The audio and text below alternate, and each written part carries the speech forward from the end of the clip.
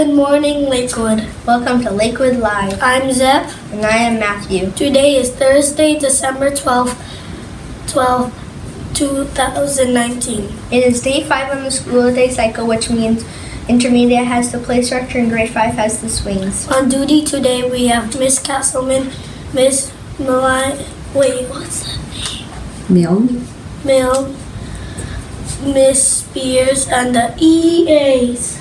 Here are activities and reminders. Our tree of hope is located in the library.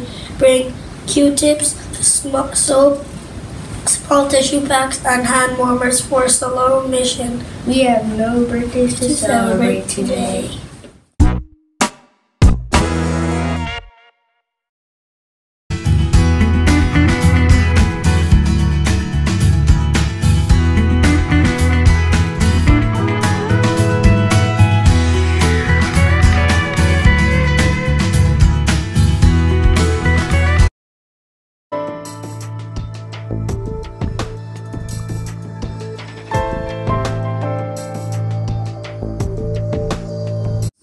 favorite book. Um, it's called Extreme Illusions 2, and it has like cool illusions in it. Um, um, and it has like this illusion. It doesn't really work for me, but you have to like stare at the fly, and then stare back at the cow, and then there's also some other really cool illusions, like this one.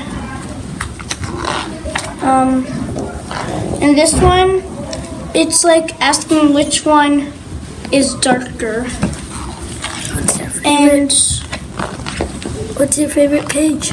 uh, um, this one, cause like when you stare at the heart for a while, it like starts to look bigger.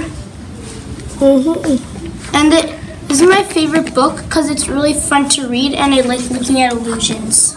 Show that. Show it.